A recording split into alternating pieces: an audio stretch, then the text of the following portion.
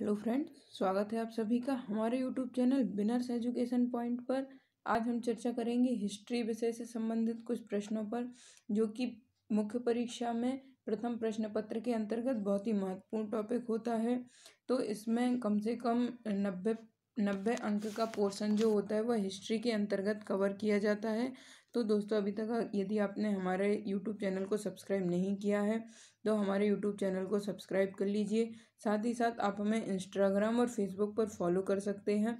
इसके अलावा आप हमें टेलीग्राम पर ज्वाइन कर सकते हैं। टेलीग्राम पर आपको अन्य महत्वपूर्ण कंटेंट प्राप्त होते हैं, जो कि मुख्य परीक्षा और प्रारंभिक परीक्षा दोनों दोनों से ही संबंधित होते हैं। इसके पश्चात दोस्तों, हमारे बहुपयोगी नोट्स भी उपलब्ध हैं। जो कि 2020 की मुख्य परीक्षा और 2019 की मुख्य परीक्षा दोनों के लिए अत्यंत लाभकारी हैं। तो दोस्तों, शीघ्र ही शीघ्र आप उन्हें परचेज कर लीजिए और हमारे नोट्स के माध्यम से अपनी सफलता में चार चाँद लगा लीजिए। अब हम चर्चा करते हैं हमारे पहले प्रश्न पर, जो कि भारत शासन अधिनियम 1935 तो भारत शासन अधिनियम 1935 जो है, वह अंतिम संवैधानिक प्रस्ताव था। जिसमें चौदह भाग और तीन सौ इक्कीस धाराएँ तथा दस अनुसूचियाँ शामिल थीं। तो जो भारत शासन अधिनियम था, वह अंतिम संवैधानिक प्रस्ताव था, जिसमें चौदह भाग थे, तीन सौ इक्कीस धाराएँ थीं तथा दस अनुसूचियाँ इसमें शामिल की गई थीं।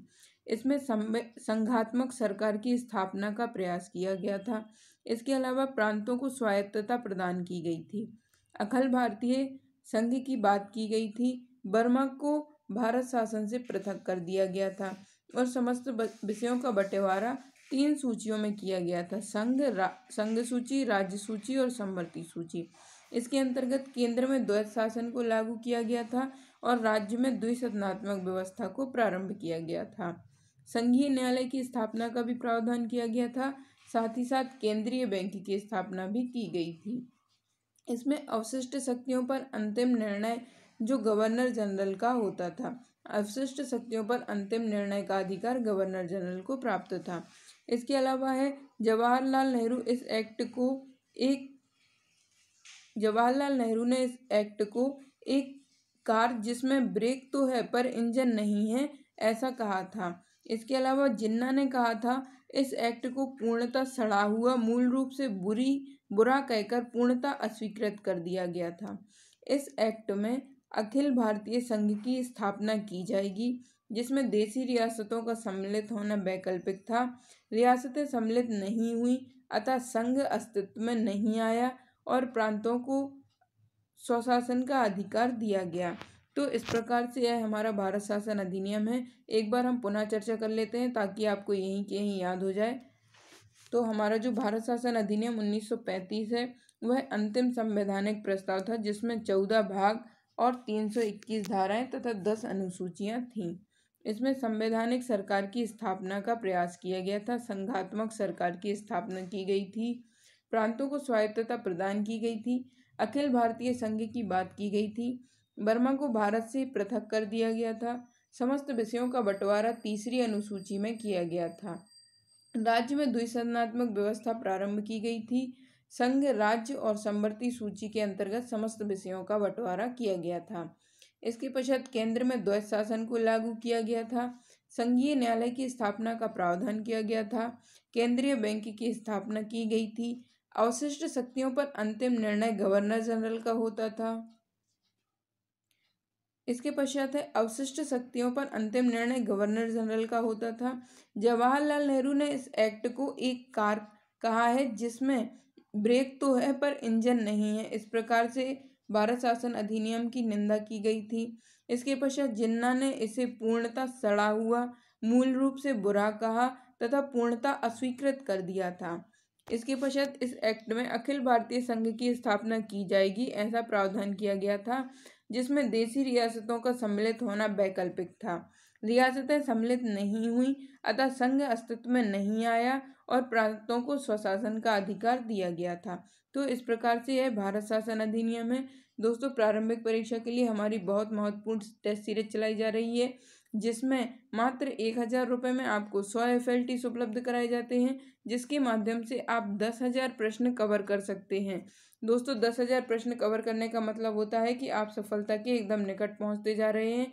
क्योंकि प्रारंभिक परीक्षा में सफलता का मूल मंत्र यही होता है, आप जितने अधिक से अधिक वस्तुनिष्ठ प्रश्न सॉल्व करेंगे तो आप सफलता के उतने ही निकट पहुँचते जाएँगे। इसलिए शीघ्र अतिशीघ्र हमारी जो प्रारंभिक परीक्षा की टेस्ट सीरीज़ है, उसको ज्वाइन करें और मुख्य परीक्षा में अपनी सफलता को सुनिश्चित करने के लिए आप हमारे नोट्स परचेज कर सकते हैं। अभी हमारे पास Hindi ethics social geography MP polity आदि के नोट्स अवेलेबल हैं। उनकी लिंक आपको डिस्क्रिप्शन बॉक्स में दी गई है। आप डिस्क्रिप्शन बॉक्स में इंस्टा मोजो की लिंक पर जाकर हमारे नोट्स चेकआउट कर सकते हैं।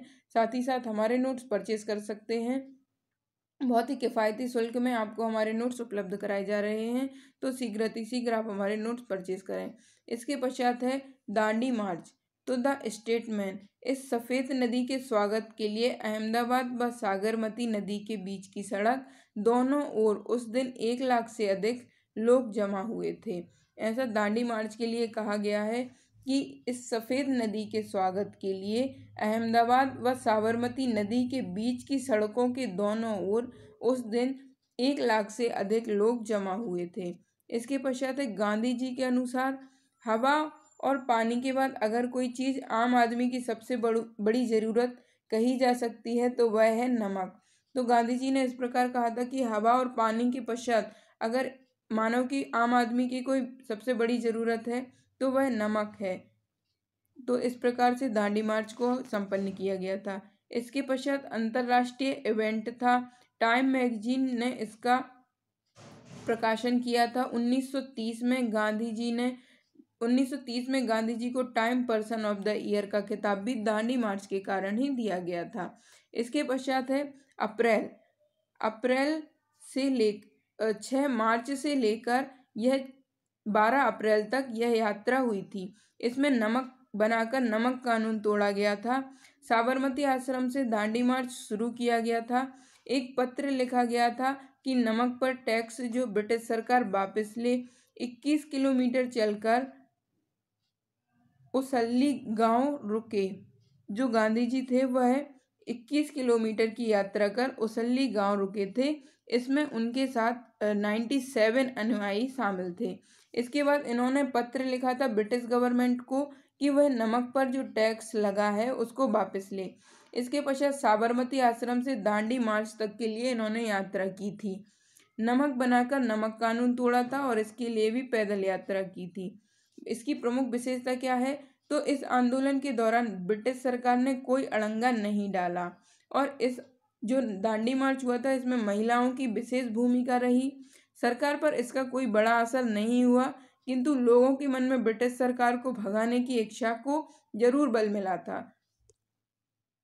तो इस प्रकार से यह दांडी मार्च है, जिसमें सरकार, ब्रिटिश सरकार पर कोई बड़ा असर नहीं हुआ, किंतु लोगों के मन में ब्रिटिश सरकार को भगाने की इच्छा को बल मिला था।